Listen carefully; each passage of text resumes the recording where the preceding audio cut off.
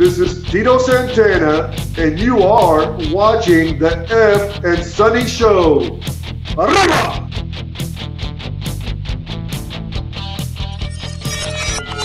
It was 1980 something, and 80s wrestling was as big as rock and roll. Wrestlers became Saturday morning cartoons, and their shows sold out arenas. While there were few minority mainstream wrestlers, Tito Santana represented the values, language, and fight of the Hispanic community.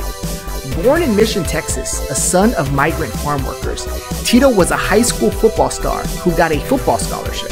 He briefly played in the NFL and went on to become a Wrestling Hall of Famer. You would think after a successful career in wrestling, Tito would settle down. Nope. Just like the heroism of his wrestling characters, Tito served the greater good by becoming a school teacher, teaching high school students for the past 24 years. Tito Santana, not just a legendary wrestler, but a trailblazer and local legend. Hello, listeners! We have a very special guest with us today, Marco. Yes, we do. We have Mission, Texas's very own Merced Solis, aka Tito, Tito Santana, Santana. aka a school teacher who is teaching during this pandemic. So, uh, Mr. Solis, what's harder right now?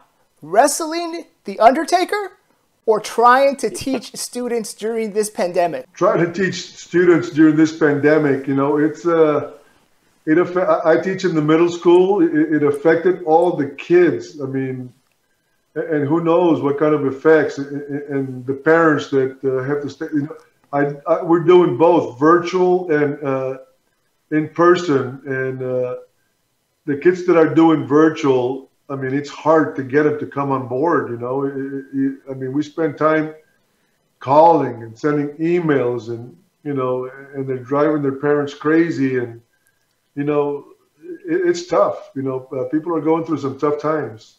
Hey, Mr. Solis, is it okay if I refer to, to you as Tito? You can call me whatever you want. Most people call me Tito. the people from from my that know me, my relatives, my hometowns, that my my nickname is Nune. They call me Nune. Uh, you know, nobody ever calls me Merced or Mr. Solis. You know, you know, my friends uh, call me Sid, and you know, I have all kinds of names. But you can call me Tito because that's how, how you guys uh, know me, right? Tito, I just effort. This is like uh, like we said before.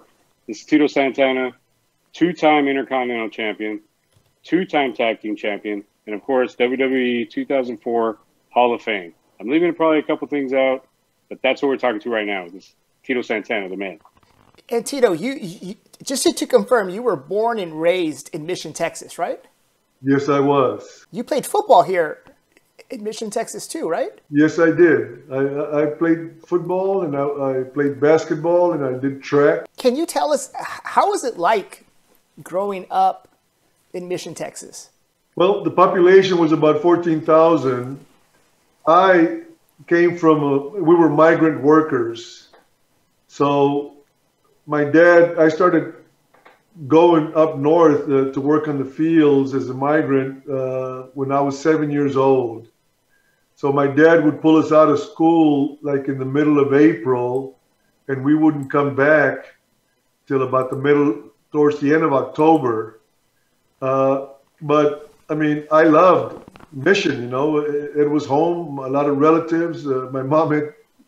Uh, it was 16 in her family, and my dad there was like 12 in his family. So, a lot of relatives in in, in town, and uh, you know, we didn't have much. Uh, we learned how to work. You know, we it was hard work, but we, it, you know, they taught me how to work, and they taught me the, the value of uh, of the dollar. Was playing football here in Mission, Texas, did you get any type of scholarships to play anywhere? Yeah, uh, as- you know, my when I was in eighth grade, my uh, coach Sanchez was my gym teacher in eighth grade, and we came back uh, from Indiana uh, like in the middle of October, about the twentieth of October, some- something like that.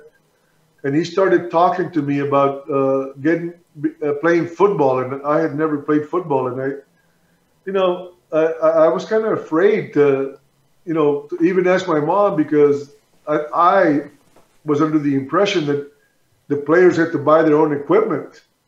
So I, I said, uh, yeah, okay, I'll ask my mom to see if she'll see if she she see if she'll let me uh, go out. But I did, not even ask my mom. I came back the next day and I said uh, she didn't let me. The following year, my brother was two years older than me. He was going to be a junior.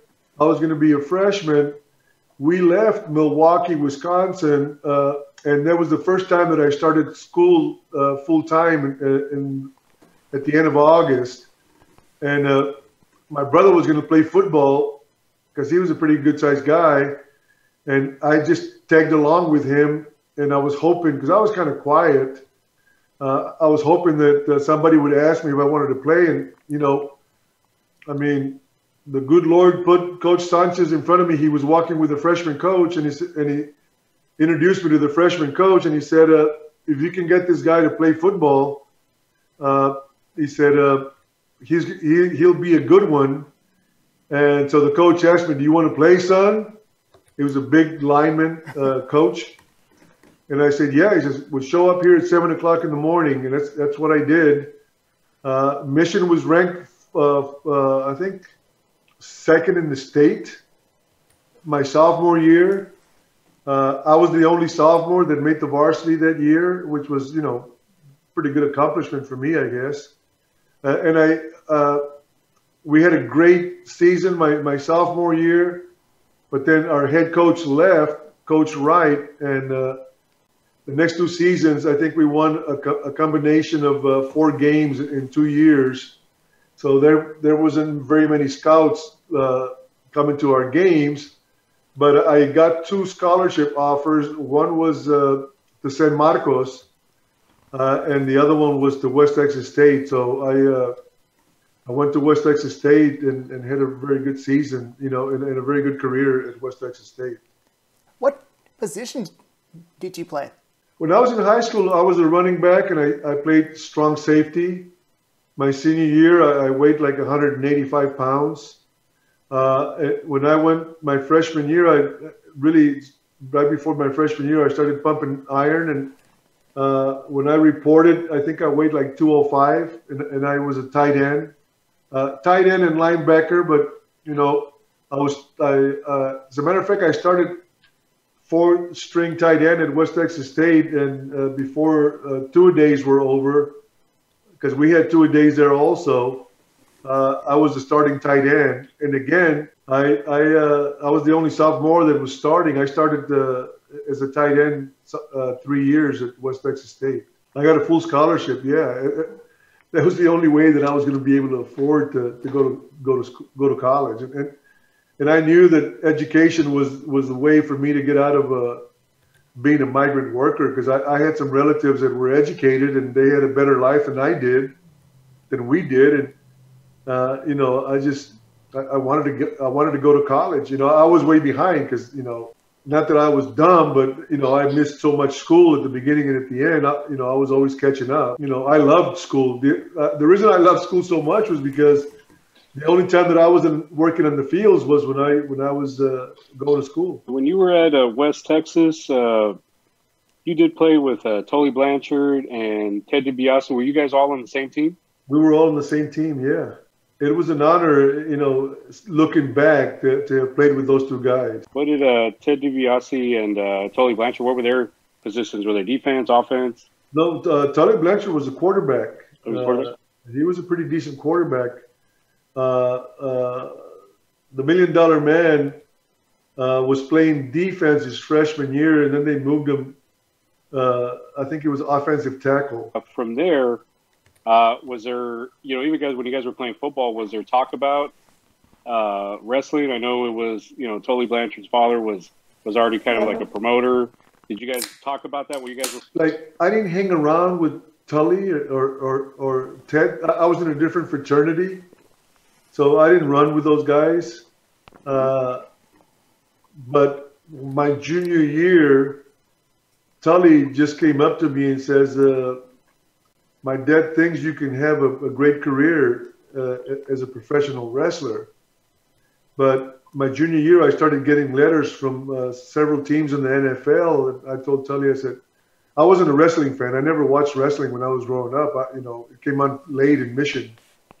Uh, so I said, uh, you know, I want to play football, and uh, I ended up signing with as a free agent with the Kansas City Chiefs, and then I there for ten weeks. Then I got cut. Then I went to Canada and played uh, Canada the rest of the year, and then I played the following year. And uh, I, I told Tully after my first year, I realized how tough football was. I said I'd like to give. I want to play one more year, and I'd like to give wrestling a, a shot. And that's what happened. I went to Canada, played another year, came back.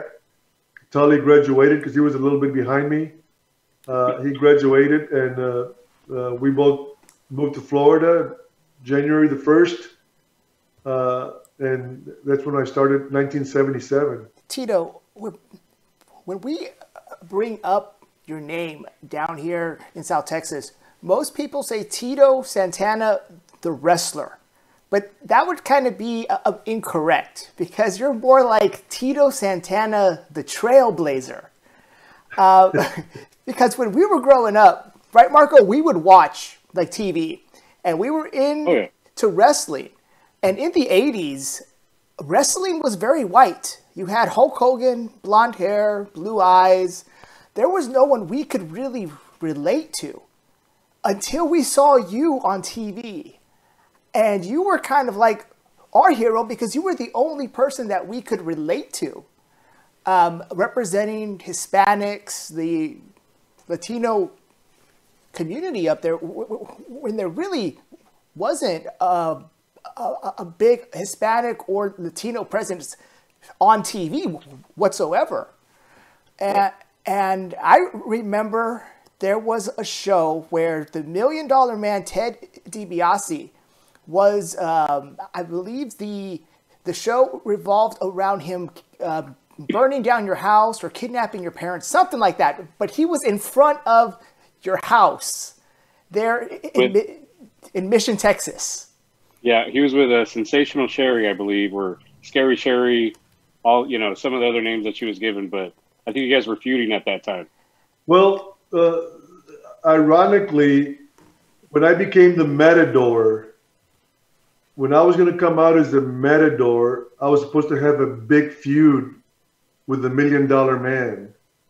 And they started doing those vignettes and, you know, for, uh, setting up the feud and really insulted me. And, uh, and then all of a sudden they dropped it, you know, and, uh, you know, so that's when I started thinking about just finishing up, you know. Uh, I didn't think that Vince McMahon, I, I thought I had a lot of talent and I thought I was over with. I was I was over with the the Hispanics. I was over with the blacks. I was over with the whites. I was over in, in professional wrestling, and I just I, I would tell Vince, uh, I don't think you're using me to the best of my ability. You know, I, I got so much to offer because I had already proved that I was a, a, a I could draw money for him, and I just couldn't figure out why you know you know he didn't use me better. You know, I just got to the point where I just didn't want to be on the road anymore. You know, if I wasn't going to be used. You know, I spent 17 years in the business. In the WWF back then, we used to wrestle 350 days a year. So the sacrifice was, you know, way too much for for the benefit that I was getting towards the end.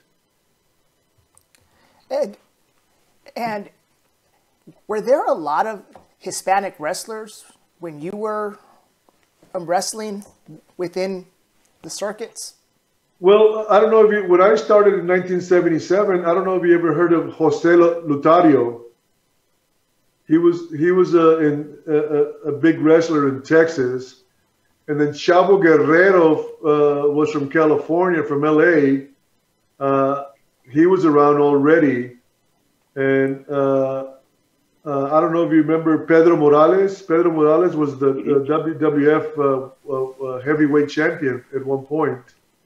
So there had been Pedro was from Puerto Rico. There, there had been uh, some other Hispanics, Mil Mascaras, of course. you know, I was I had the honor of teaming up with Mil Mascaras a few times.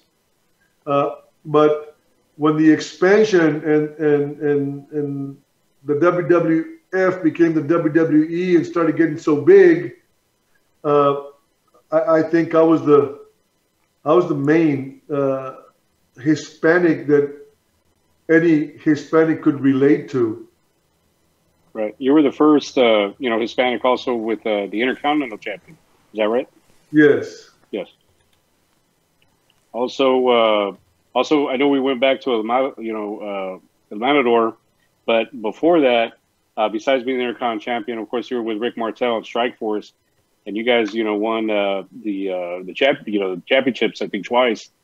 But those were good, those were good years. I mean, those were well, those, you guys were like high flyers. And, yeah, I mean, we uh, we got over like a million dollars, and you know, from what I hear, his wife had a pretty. He, he was from Quebec, Canada, so his wife had a pretty uh, severe illness, and he had to take. He told me he had to take some time off because uh, he had to be with his wife, and you know, I can understand that. Okay. And back in the 80s, um, Tito, wrestling, it was like rock and roll wrestling. Wrestlers were like like rock stars, right?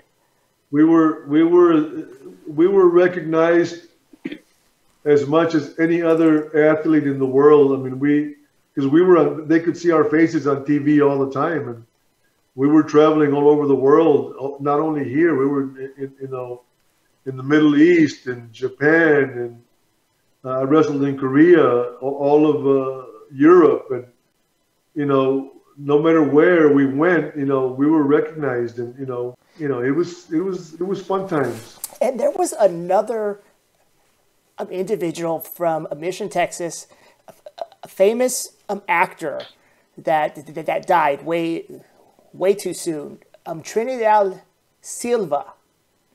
Were you friends with him? God, he lived uh, like five feet away. You know, my my grandmother had a little barrio. You know, they, they the, the whole block, and they had little houses, no running water in the houses, but uh, all the, all our relatives lived in like we used to call it the compound, and, and uh, Tintin, we used to call him Tintin. He lived right next to me. Uh, he didn't have a father. He had a you know a, three brothers and a sister and uh, you know the poor guy had they were worse off than me. He was a little bitty guy. He was a year behind me in school, and come to find out, I think he was two or three years older than me when you know when uh, when he passed away. Uh, but every time I used to wrestle in L.A., him and uh, there's another guy, uh, David Silva.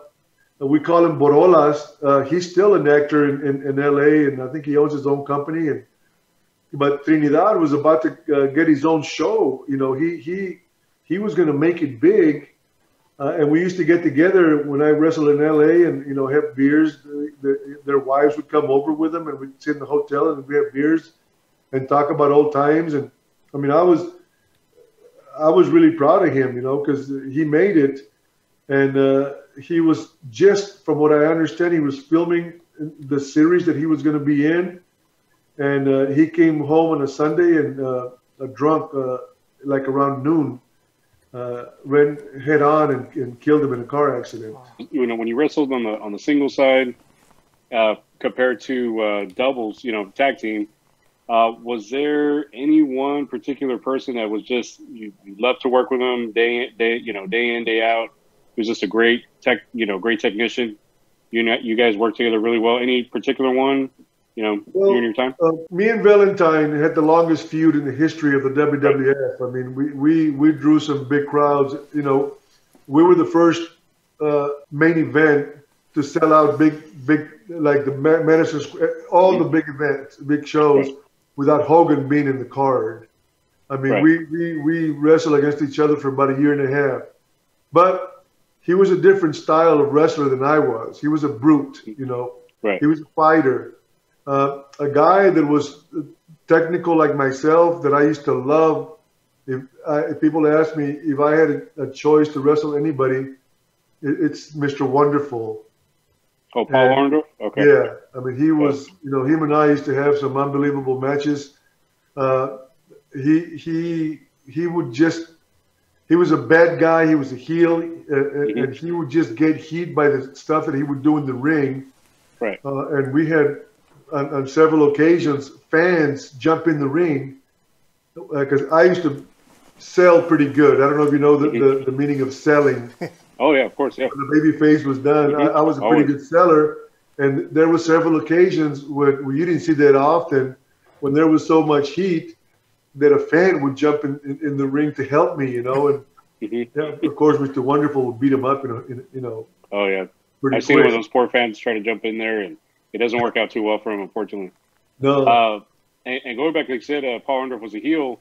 You know, doing your whole career, you never, you always stayed babyface. You never turned to heel, right? Yeah, I, I, don't know if you remember when me and Rick Martel split up. Mm-hmm. I, I uh, I knew he was coming back, and I knew that they, they were going to do the split. So I asked Vince. I said, Vince, can, can, can I be the heel? Because you know, I had seen a lot of baby faces who had done the transformation from a baby face to a heel and mm-hmm. got a pretty good run. So I was just looking to get a run, and I, I just figured I had the psychology of, of, of uh, wrestling, and, and I thought I was a pretty good worker I, I figured that I could make a, a pretty good uh, a, pretty good heel. Uh, but he said, no, no, you're going to stay. He says, I'm not done with you. Uh, there's so much to do with you as a baby face. You're going to stay as a baby face. Well, he BS'd me because he never did anything. You know, he promised me a bunch of stuff and never came through. Tito, you currently live in New Jersey. Yeah. Uh, that is a long ways away from South Texas of all the places you could live, Hawaii, Miami, Barbados, why did you pick New Jersey? The girl that I married is from New Jersey. that's right. That's right. I, I owe Efren five dollars. That's what he said. Efren said, "I bet it was because of a woman." I said, "Maybe we'll we'll bet on it." So yeah. it always happens. It's a good reason, though. It's a good reason. It's a great reason. It's you know how reason. that goes. I mean, I, you guys have no idea how much I miss the valley, you know, how much I miss, you know, I go back and it's so different, but I still miss it. You know, when, when I was in mission, population was 14,000. Uh, from what I understand, it's, you know, when uh, in the winter, there's like over 200,000 people. In, you know, it just has grown. The whole valley has grown so much, you know. Do you find it um, doing weird stuff because of the way you, you grew up?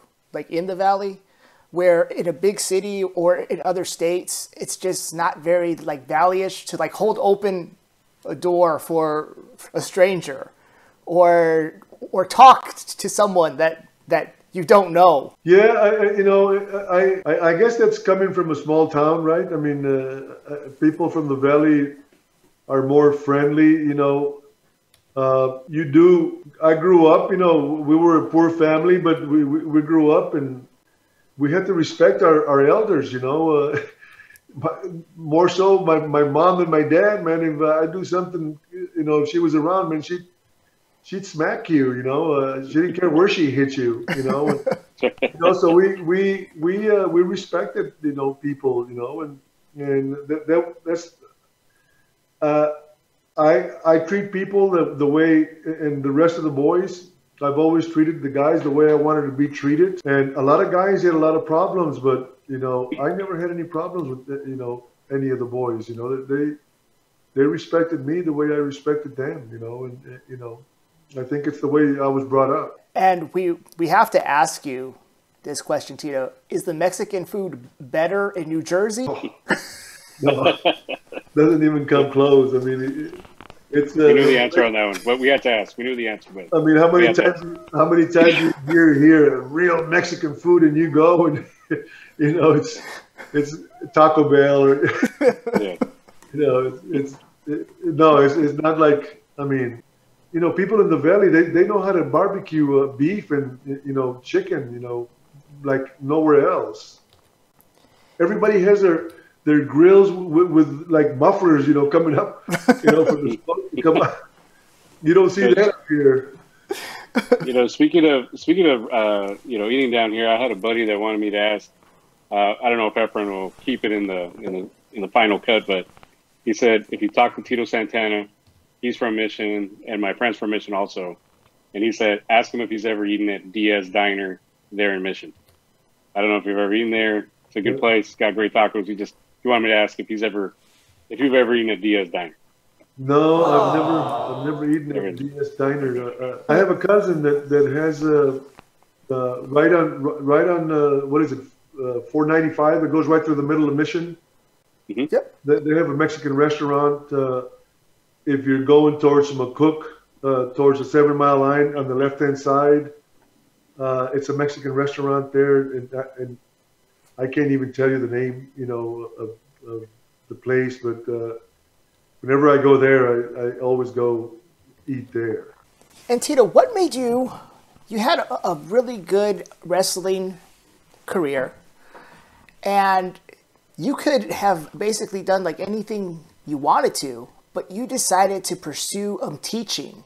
What made you want to pursue um, teaching after everything you've done? Well, I was I was lucky. I told you guys I liked school. I studied hard. I graduated in four years when I was playing football. I, I, got my teaching degree.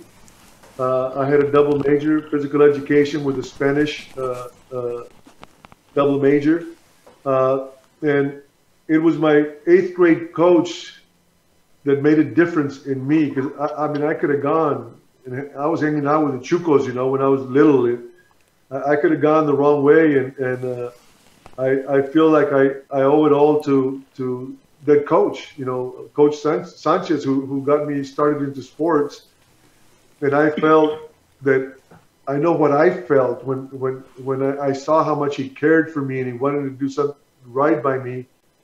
I said I'm going to get into teaching, and uh, this this is before any of this wrestling and stuff. I, I said I just want to be able to help somebody the way he helped me. Uh, so when I retired from wrestling, uh, for a couple of years, I really didn't do much. You know, I, I I learned how to play golf. I was playing golf three or four days a year, a, a week, and my wife kept saying, "Why don't you go into teaching? You have your degree." And I just didn't think that, you know, well, teachers didn't make very much money you know, I, I just didn't think it was worth it. And finally, I started subbing, and I subbed for a couple of years. Uh, and then finally, I, you know, I said, "Yeah, I'm gonna, I'm gonna go into it." And now I've been teaching. This is my 24th year. Get a lot of uh, a lot of students asking for autographs, and uh, do you get do you get a lot of students asking for autographs and stuff like that during class? Yeah, you know, uh, I live in a small town, so everybody knows I'm the, I'm the only celebrity in in, in uh, Roxbury.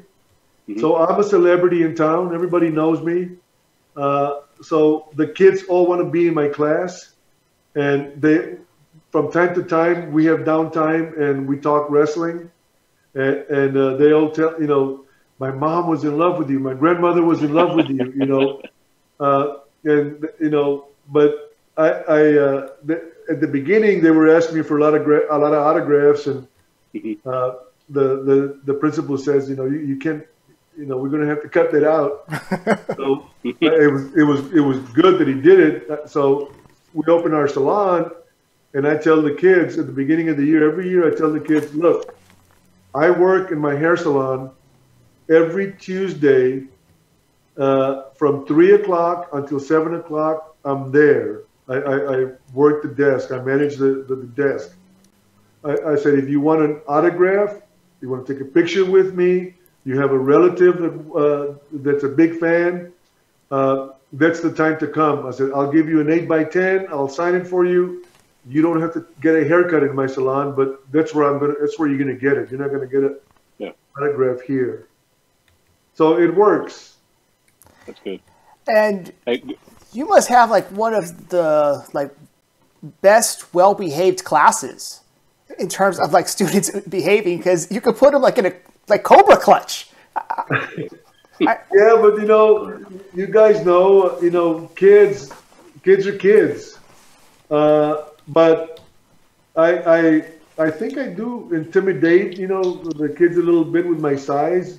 But I'm, I'm not the type of guy that raises his voice, you know, in the classroom. I, I I'm pretty low key, but you know, I address bad behavior right away. You know, is you know, I, I don't disrespect you. Why are you disrespecting me? You know, I want you to let me teach, and you know, it works. You know, uh, and sometimes you have the kids that nothing works, and you just make a phone call, and sometimes you get if you have a good parent at home, they come back changed. Uh, so phone calls are very important, and then sometimes you have kids who don't have anything at home that are just looking for trouble because that's what they're used to, uh, and you know they're they're looking for a fight, you know, for you to engage them in a fight, and uh, I, I, I I try to avoid engaging in, into arguments with any of the kids.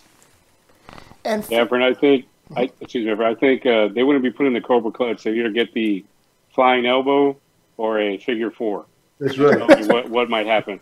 And let, let me ask you about so one of the you know some of the, the top finishers that you do how do you come up with what was it Vince or do you do you come up with your own like hey this is going to be my finishing move a flying elbow or how did you know how did that get into your no uh, your game? pretty much the wrestler would come up with, with our own stuff uh, mm-hmm. I I, uh, I I used to do the flying body press you know you hit the ropes and you come up and just the whole body you catch them and take, right. you know, uh, knock them over mm-hmm. but then I don't know how I came up with with with the flying elbow. Nobody else was doing it, and and I came up with it, and and since people have tried to do the what I the way I used to do it, and it, often imitated, never duplicated, I guess.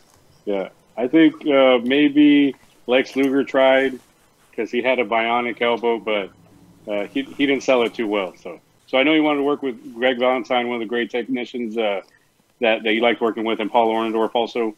Uh, how about tag team wise? Because I know you got the Hart Foundation. It was uh, Demolition. Uh, any particular ones that, that you like to work with all the time, night in, day in and day out?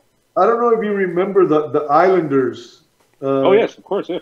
I mean, those guys were. I mean, they were awesome. You know, they they, mm-hmm. they were hard workers and, and oh, yeah. would get the fans to go crazy. Bret Hart and, and, and Jim the Anvil Neidhart. Jim the Anvil Neidhart didn't have a clue in the ring. You know, he was just a big, strong oh, guy, but you know, he yeah. he didn't have he didn't have a clue. Uh, but you know, if I was to choose anybody, the Islanders. You yeah. know, there was a lot of great uh, babyface tag teams like Shawn Michaels and, and Marty Jannetty, and you know, those was a of other guys. Mm-hmm. But uh, as far as uh, the you know the heel teams, uh, back then, you know, tag teams were big. You know, the, the people used oh, to yeah. love tag team matches. You know. Oh yeah. Everybody had great psychology. You know how to work a tag. You know now they don't. You know, psychology is gone as far as as far as I'm concerned. Yeah, that's that's what I was going to ask you about. It. I've uh, I've been watching lately WWE and the the uh, the new one now, the new uh, organization AEW, and I heard you in another interview talk about uh, you know ring psychology, how you would play off from the fans.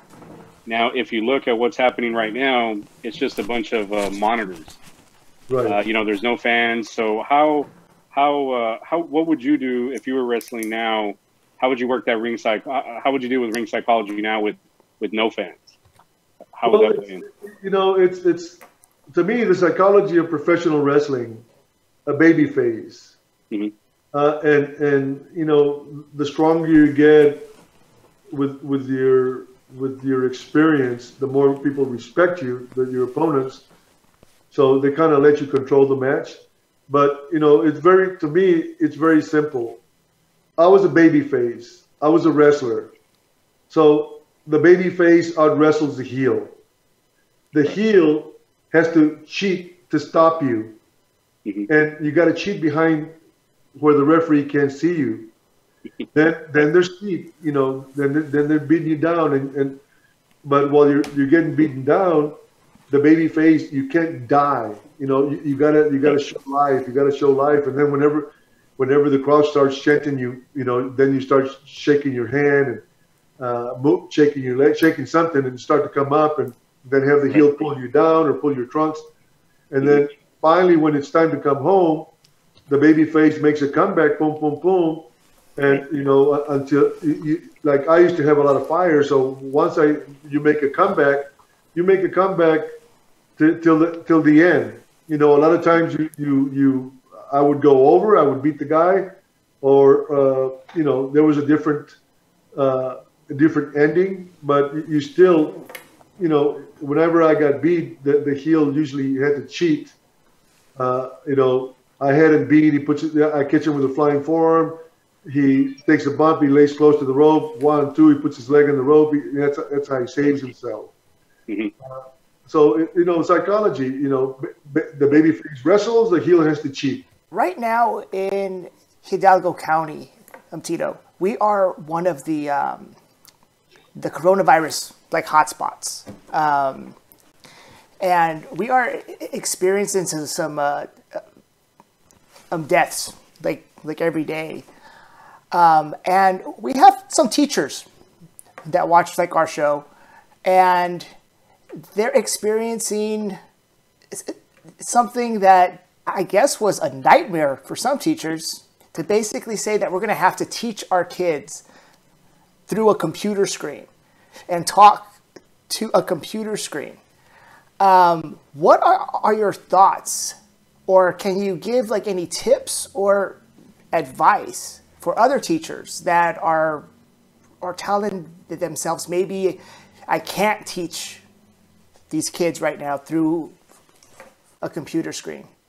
Well, it, it, like I said earlier, it's, it's just very, very difficult to get the kids to even show up.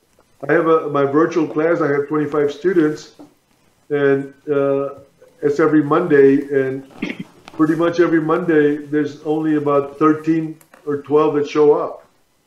Uh, as far as the teaching goes, you're going to have the, the, the good student who's going to pay attention to your lesson and, and, and, and is going to get as much as if you were teaching in person. And then you have the kids who, if they were in class, they wouldn't pay attention and they're not going to pay attention to you there you know, and then they know all the tricks that they sign up, uh, and then they leave and, and, they leave a picture there, and they, you know, so I call their name and there's no answer. They think you can't figure it out. You know, they think we're stupid, I guess. uh, you know, it's it, it's very difficult. You know, uh, we're, we're living through a difficult situation. I, I mean, I just don't, you know, we in class. The other four days I'm in school, I have to wear a mask. I mean, I, I just don't get how how people go out in public, don't distance, and don't wear a mask. You know, I, I don't want to get political, but you know, it, it's for your safety and for other people's safety to wear the mask. You know, people are dying. You know, right. you can go you can go into groups and and and, uh, and then go home and, and get sick and give it to your, your grandma, your, your grandpa, your your your mom, and you know people got to do the right thing. You know, if if if they don't listen to to, to the to the doctors, you know, uh, that that are telling us what to do, you know, something's wrong. You know, and then I remember watching uh, in Padre Island, all the people on the beach, you know, this summer not wearing masks. You know, you're gonna get sick. You know, you're gonna spread it. You know, because uh, you guys were behind us. We got we New York, New Jersey. We got it first, and then it worked its way to the rest of the country because it, it, started in New York, mm-hmm. and then I mean, you guys weren't feeling it at first because uh, I my best friend is uh, still lives in Sharyland, right there, you know, right outside of Mission, and you know I talk to him quite often, and you know when it hit, it hit. You just got to be strong to it. Wear a mask. Tito Santana. Tito Santana, says wear, wear a mask. Wear a mask. We're wearing masks. We're wearing right. masks. keep a distance. Wear a mask. Keep a distance. You know, it's you know six feet. You know, not asking for much. Uh, I know. Uh, did you tra- you traveled a lot with um, Andre the Giant on the road? I know you guys you guys were close. Did you always let him win at cards? That's what I have to ask. no, you know, uh, Andre was a very smart man and he was a good card player. We played. We either played uh, gin rummy, mm-hmm. or there was a game called cribbage. It was a board game, and and uh, Andre was making so much money. You know, uh, I played cards, and, and, he'd be beating me, and I would always tell. I would because he'd call everybody boss. So I said I would say boss. no milk for the kids tonight. And he would say, "Oh, boss, don't say that." And then he, you know, then he, then I started winning. So I never knew if he worked it, he let me win Yeah. or what. But you know, he didn't want to take my money. Wow. Uh, I've heard a lot of great stories about Andre. Just, uh, just the car player that always, he always was, and of course, besides a great wrestler, they just always said, yeah, you know, Andre always, Andre always had to play cards. That's what he was Yeah. always doing. It was my job. If we were in the same card, he'd be waiting with the cards and with the table and waiting for me. Okay, boss. So I'd have to go get my stuff and, and get dressed as I was playing cards with him. Tito, you're You ever- on. You you know, I didn't even have time to warm up. You know, they'd call me that I was next, and you know, I, I'd be ready and I'd go. Did you ever, did you ever wrestle uh, Andre in any of those shows on the Uh, road? yes, I did. I, I wrestled him, and, and I wrestled as a partner. We- I was partners with him. Yeah, he was for a big man. He had great ring psychology. Oh yeah, no, yeah. Watching his matches, he was just Yeah. always knew what he was doing. It was everything was technical and uh, Right. yeah. Tito, do you visit the uh, the Rio Grande Valley um, often, or Um, not very often, uh, especially now since the pandemic. We, we haven't gone anywhere. But uh, I, I probably I was going to the valley. I went like three summers in a row because I was hanging out with my brother. and We'd go to Padre Island and my best friend. But uh, you know, since the pandem- pandemic came around, we we didn't make it this summer, and uh, my wife wants to go to Europe uh, next summer and you know travel different because my I have a son that lives in Africa, and right now he's in Ireland and he has friends in Ireland, so she's talking Ireland and meeting my son there. did any of your family members pursue um, wrestling? No, no, my my uh, I I had three boys. My my oldest son's a, a lawyer uh, like yourself. Uh, he works for the Department of Veterans Affairs. Wow. Uh, he, he he wanted a an eight to five job. he loves what he does. Uh, my middle son graduated from Princeton, and, and he uh, he does human rights work. He, he lives in Africa. And my little the little guy uh, got a, a degree in finance and uh, in accounting, and uh, he works. What's the name of the company, Leah, that he works for? Access, the vice president. He's the vice president at FECSAT. i- Is doing really good. So there, you know, I, I when they were little, I said uh, they love wrestling, and I said, "Do you guys want to be away from your kids as much as I'm away from you guys?" And I think it set in, you know, and, and they never, we never pushed them that way. My wife, you know, did a great job, and, and she she steered them towards education, and they were they were all very smart.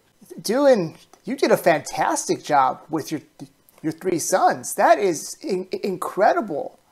I mean, to come from your migrant background and have sons that attend these Ivy League schools and now are professionals, that is outstanding. Yeah, we're really proud of them, and you know, uh, uh, you know, I can't take the the credit because it was my wife that was at home. I was in the road. You know, my wife is a very smart girl too, so uh, you know, I I did what I could when I when I was home, but uh, it was a it was not an easy life. What are your uh, your future plans, Tito? Well, I I'd like to I'd like to be able to teach two more years and retire, and you know, then do what I want to do, whatever I want to do, and you know, uh, I like I enjoy walking with my wife. There, there's a, a a park that we go and we walk, you know, for an hour.